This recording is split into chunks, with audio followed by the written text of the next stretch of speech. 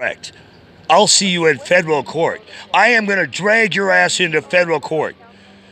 You want what? Do you want what? You owe the court a dismissal of that fucking goddamn warrant, and then you and I and your boss are going to sit down, and I'm going to show you enough footage where you're going to rescind a bunch of other cases where you drug my ass into court for bullshit.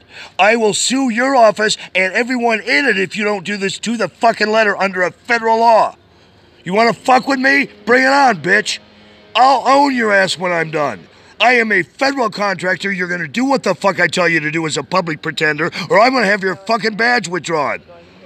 Hang up, bitch, because I'm coming for you.